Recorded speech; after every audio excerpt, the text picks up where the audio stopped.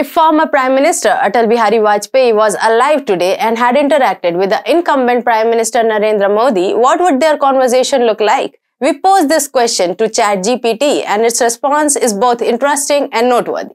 Here is the excerpt of the interesting conversation that ChatGPT yielded. Our query, can you write a hypothetical conversation between Narendra Modi and Atal Bihari Vajpayee? ChatGPT's response, sure, here is a hypothetical conversation between the two Indian leaders. Hi and welcome to TFI Post. I am your host Surabhi. If you are watching us on YouTube, please subscribe and press the bell icon to get all the latest updates. If you are watching us on Facebook, do like, share and follow the page. Let's begin with the video report. Namaste Atalji. It's great to see you. Namaste Narendra. It's always a pleasure to meet you. Atalji, what do you think about the revocation of Article 370 in Jammu and Kashmir? Well, Narendra, it was a bold move. The special status given to Jammu and Kashmir under Article 370 had become a roadblock to the development and integration of the region with the rest of India. Yes, I couldn't agree more. Atalji, I have always been inspired by your leadership and governance style. Your emphasis on transparency and good governance set a high standard for the rest of us. Thank you, Narendra. But I must say, your efforts in transforming India through technology and digital innovation have been nothing short of remarkable.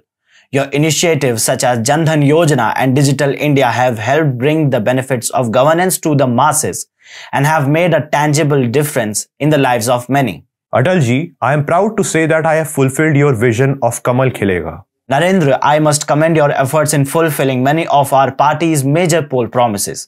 Your determination to abrogate Article 370 and build the Ram Mandir have shown your unwavering commitment to the principles of our party. Thank you, Atalji. It was a long-standing demand of the people, and I am proud to have delivered on our promise.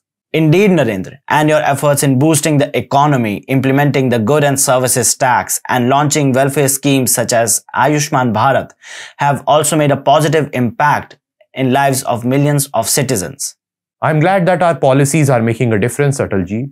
Our focus on economic development and social welfare is a testament to our commitment to the well-being of the people. Your leadership and dedication are an inspiration, Narendra. May you continue to lead our nation on the path of progress and prosperity. I am grateful for your support and guidance, Atalji.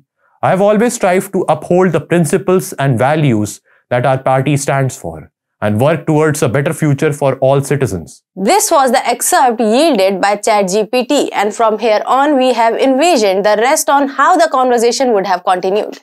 Atalji, have you seen how the media in cahoots with the anti-India brigade spun your comments on Rajdharm?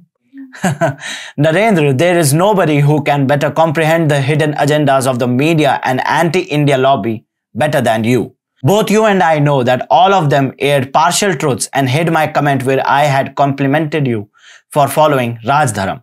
But who will invest the time to explain to these agenda-driven media agencies what the true essence of your comment was? There is no need for that. You can wake an asleep person but not one whose soul has died and they pretend to be asleep just to advance their political and even anti-India agenda. Both you and I know that after the Rajdharm comment, I categorically said that the Chief Minister is doing the same. Indeed, Atalji, I was right beside you. Narendra, continue leading the country forward in this manner. Your leadership will be remembered by our nation. Atalji, keep guiding us and grant your blessings. Jai Hind. Jai Hind.